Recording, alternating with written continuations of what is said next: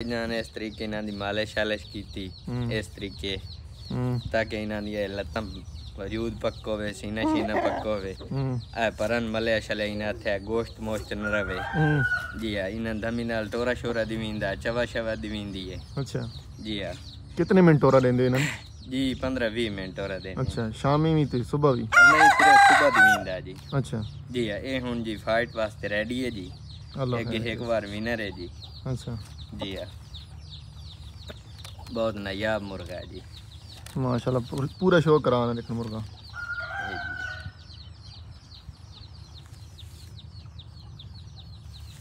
पल्ले छले चेक करें।